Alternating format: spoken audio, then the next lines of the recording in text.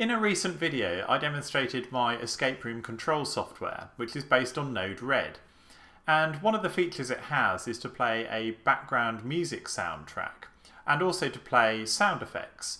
And they can either be manually triggered by a games master from a sort of a control panel dashboard, or they can be automatically triggered by an Arduino or a Raspberry Pi when some part of the gameplay is achieved by players. But Node-RED doesn't only play pre-recorded sound effects like WAV files and MP3 files. If you take the audio out node from the Node-RED dashboard and pass it a text string, it will actually use a dynamic text-to-speech synthesis engine installed on the host computer to dynamically read out any text message or any value that is sent to it. So this means you can actually create uh, voices in games, a synthetic voice in the game that is based on user input or perhaps create a dynamic clue delivery system based on the actual state of the game at the moment. It doesn't have to be pre-recorded. Here's how. So I've got the um, Node-RED editor running here and if I scroll down the palette on the left hand side I'm looking for the dashboard set of nodes. So I've got the dashboard module installed. Um, if you haven't already got that installed, you can go to it by going to uh, settings, palette, install, and then uh, searching for the dashboard here. So make sure that you have the Node-RED dashboard installed. Uh, that will give you this set of nodes here, and we're going to choose the audio out node, which is here. So if I now double click on that to configure it, um, we have to assign the audio out node to a group, even though it doesn't have a kind of visual component as such, because it's part of the dashboard set of nodes. Um, it has to be assigned to a, a, group on the dashboard. So we'll just put it in um, the main group of the home page of the dashboard. You won't be able to see it there, but it just needs to be assigned to, to something. And what that means is that when any client is connected to that page of the dashboard, that will have the audio out played. So the audio out is not played in the editor, in any client connected to the editor. It's connected to any client that is connected to that page of the dashboard. And what they will hear, um, well, we'll choose the voice. I'm on a Windows PC, so I've got a, a choice of uh, Windows-based TTS uh, engines here. If you're on a Raspberry Pi or, or a Linux machine, you'd have um, the built-in uh, engines from those machines instead. So let's go with that one. And we're done. And then to start with, let's just pass in a, a static text string to start with. Uh, so actually, well, I'll tell you what, let's make a button. So we'll add a button onto the dashboard, connect that to the audio out, and we'll make the button part of the group as well. When the button is clicked, we'll send a string that says you clicked the button. And uh, that is it. So we'll now deploy that. Go to our dashboard and we'll see we have a button. And when we click on it, what we hear? You clicked the button. Fantastic. Right, so um, that's all very well, but you know, we could have just pre-recorded that as an audio file, as a WAV file, and got a voice actor to do it, or something like that. What's more interesting is to create dynamic uh, text for this to be read out. So to do that, let's uh, add a function node instead at the beginning. And what we're going to do is we're going to create like a, a game timer that's going to count down and every I don't know minute 10 seconds when there's 30 seconds left whatever we can make the uh, engine automatically speak however many seconds are remaining. So the first thing we'll do is we'll create a variable called start time. And if the flow is already running so if a start time has already been assigned we'll retrieve that from the context of the flow uh, or if it hasn't what we'll do is we'll just get the payload of the message that started this flow. So basically it says if we already if if we've already set the flow off, let's get what time it was started. And if we haven't already set the, set the flow off, let's get the current time as the start time and we'll assign it to there. Um, and then let's actually uh, set the start time if that was the case. So we'll set the start time as start time, just to make sure that we've actually uh, saved that value. And then what we'll do is we'll get the current time. So that is going to be equal to the payload that is sent into this function. And then what we do is we work out how much time has elapsed, which is going to be equal to whatever the current time is, uh, take off whatever the time at which the flow was started, and that is going to be a value in milliseconds. So let's divide that by a thousand uh, to get that in seconds.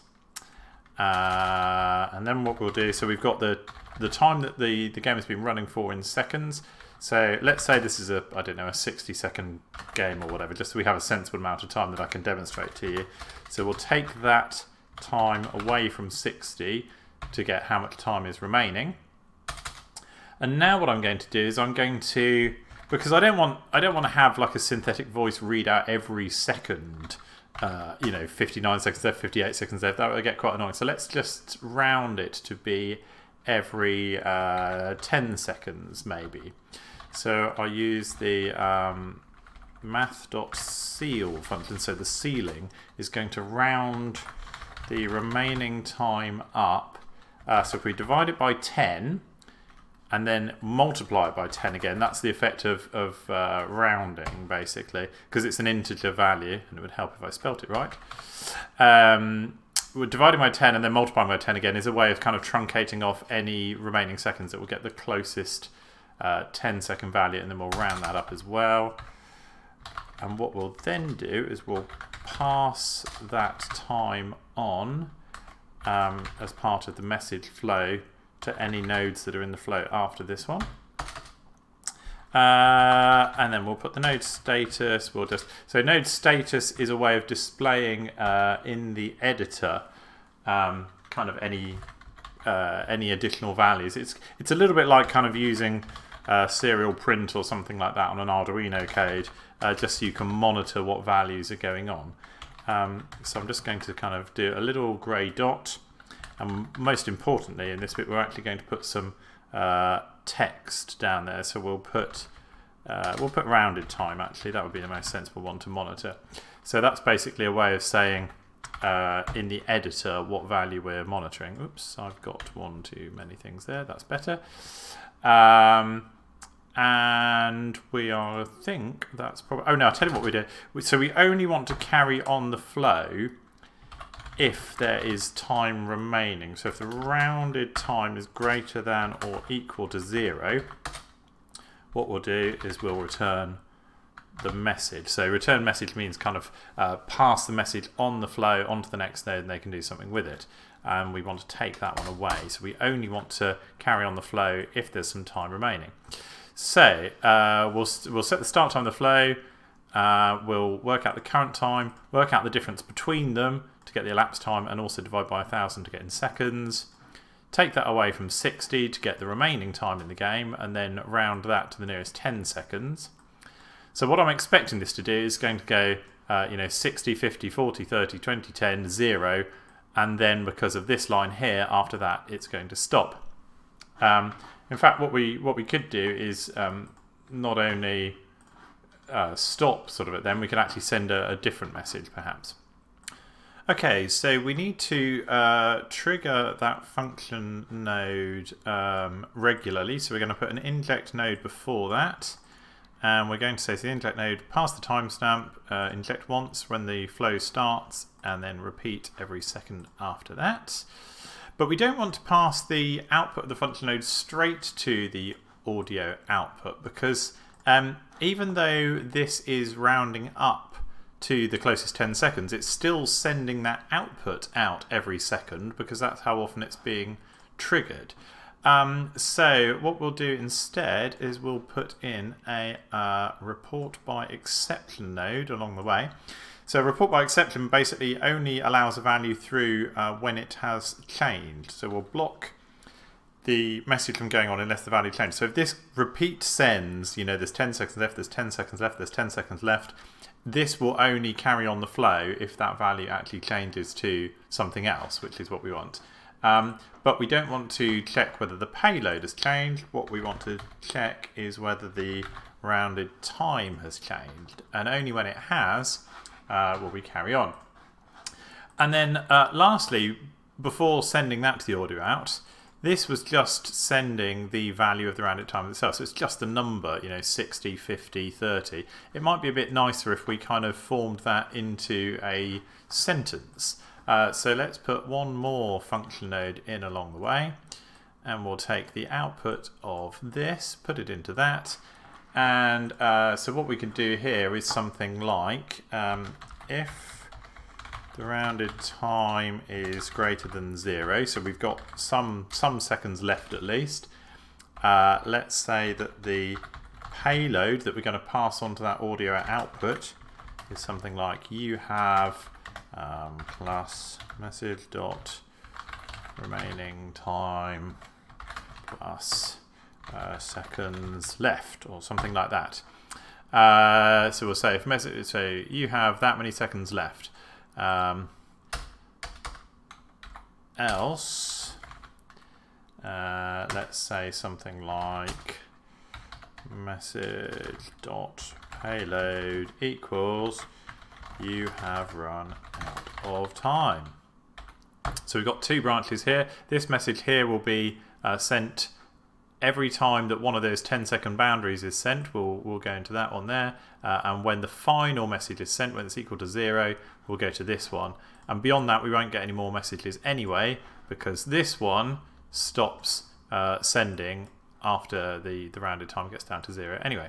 So if we connect them all in a row, and oh, the last thing I'm going to do is on the audio out, yeah, I'm going to put play audio when Windows not is focused, just so I can show you what's happening here and on the dashboard at the same time. Um, now, I think I might just need to do one more thing actually, is that my dashboard now only has an audio out element on it, and I think it might need some sort of visual element just for the dashboard to be rendered. So I'll just add a template element there. That's not going to do anything other than just display um, in words what the audio output is going to say out loud as well. Uh, so let's try that. if I deploy that, um, what we should see, hopefully,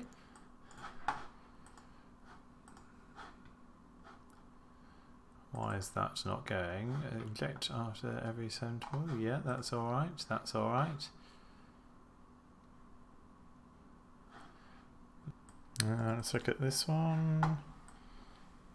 Uh, ah, hang on. Right, this line here. So I've passed on a message in the flow called remaining time, uh, but I've set that to rounded time. So that was uh, poor on me to not keep the same uh, message structure there. So message dot remaining time should be in there. What did I call it from then on?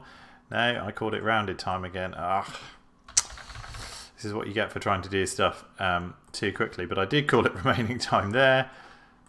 And uh, here we've got yeah so okay let me try that again. You have 60 seconds left. That's better. Right so you can see we've got the counter here that giving us the uh, rounded time as calculated. This is only allowing the message you have 50 seconds left. through when it changes. And if we go to the dashboard itself you can see actually it's the template element there is displaying the text you have 40 seconds left um, and the audio out is um, playing it at the same time. Uh, so this is a really handy way you can create you have 30 seconds left. Dynamic uh, audio that reads out either a, a, variable, as I'm doing here, that's calculated as part of the game flow, or maybe it's response to user input. You have 20 seconds left. So if players are pressing, um, you know, keys on a keypad and you want them to, to say different things, or a calculation, or a dynamically generated hint system, you have even. 10 seconds left. Um, you know, it's a little bit of a computerized voice, but that would fit in some scenarios if you were on a, a sci-fi scenario on a space station or something like that. You have run out of time. Then the quality of that speech synthesis is perfectly good for like the ship's computer or something like that. Uh, so yeah, that's uh, that's today's tip: is how to create um, text-to-speech synthesis uh, using Node-RED that can be triggered either automatically or via an input from Arduino or, or anything like that. And you can see here we're still calculating because we got into negative numbers now. Uh, we've run out of time. This is still being calculated but it's not being sent any further down the flow so we're not hearing you have minus 30 seconds left or anything like that.